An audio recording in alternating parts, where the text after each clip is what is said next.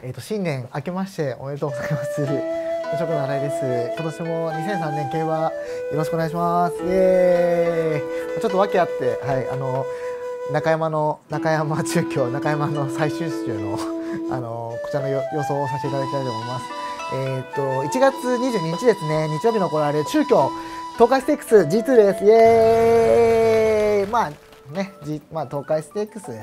まあ、このポイントは、まあ、1か月後に行われるフェブラリーステークス、まあ、今年最初の G1 なんですけどそちらの前哨戦ということで。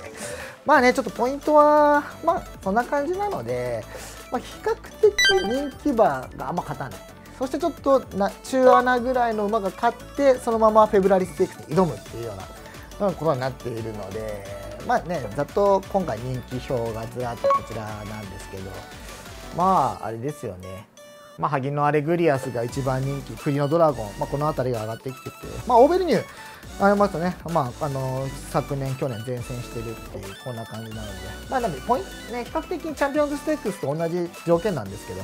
まあ、あんま構想しなかった組がこの辺り使っちゃうっていうのもあるので、まあ、なんか誰が勝ってもおかしくない、そんな感じが印象になってるかと思います。まあ、過去3年のデータも、まあ、やっぱり比較的ひも荒れがしているというね、去年もスワーヴアラミス、まあ、一昨年だとアナザー・トゥルース、まあ、7番人気、8番人気あたりが来るっていうような感じになっているので、まあ、この辺り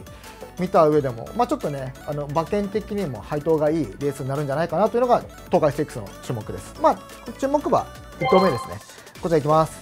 いきました、オーヴェルニュ。まあね、去年2着、一昨年1着、まあまあまあ、まあ、この馬、本当に中京走りますからね、オベリニュー、まあ、前走はあのー、チャンピオンズステークスで、まあ、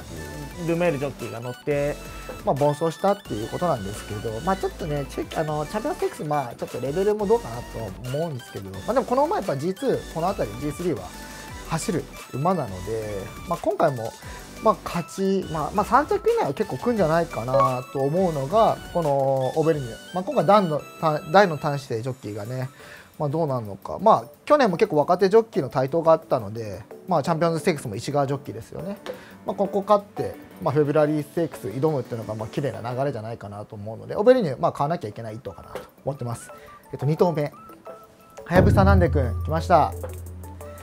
まあ、ちょっとね、この馬、まあ、僕的にはちょっと、あのまあ、4番手評価ぐらいだったんですけど、ちょっとあえて上げさせていただきました。まあ、理由はこちら、えっと、福永ジョッキー、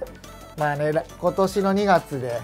まあね、JRA のあの騎手はあの終わりと今引退されるということで、このまま調教師になるということなんですけど、まあ、有馬記念も2着であの入ったということで、まあ、フェブラリーステーク、そんなにいい成績は残してないんですけど、まあ、ちょっとここを勝って、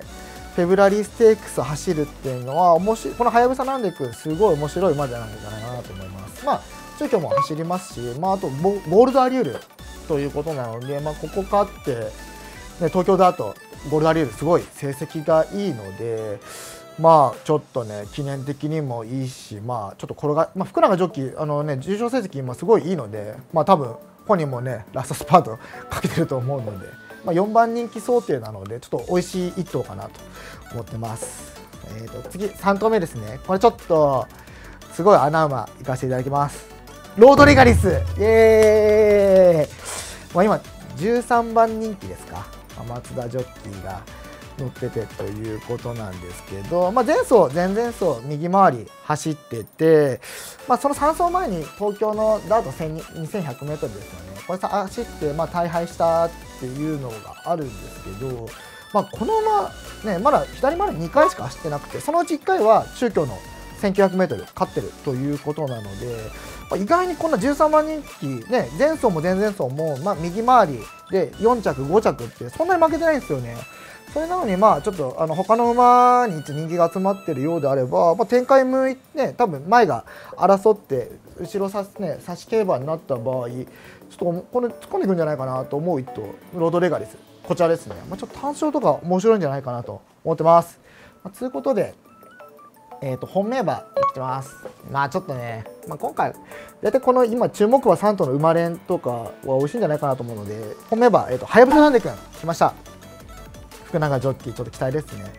まあ、で、まあ、対抗評価、オベルニュですね。で、まあ、えっ、ー、と、穴馬候補で、ロードレガリスいましたまあえっとまあ、単勝ちょっとロードレガリスちょっと1000円分ぐらい買ってみてでまあ基本的には馬連3頭でこの3点で勝負いきたいと思います、まあ、フォーメーション3連複この3頭に、まあ、人気の萩のアレグリアスサンライズウルススマッシングハーツ、まあ、この辺りの1番人気と7番人気9番人気あたりを入れて結構ね3連複も万馬券になるんじゃないかなと思うのですごい楽しみな東海ステークスです。結構自信あるんで結構強めに買いに行きたいと思います。まあ、こんな感じで、えーと、2023年もあのあの毎週動画更新させていただきますので、まあ、ちょっとね、まあ、僕は2月成績いいんでちょっと頑張ります。なんていうことなんで以上無職の荒井競馬でした。あのチャンネル登録よろしくお願いします。高評価もお願いします。あと馬券当てるんでよろしくお願いします。さよなら。よろしくお願いします。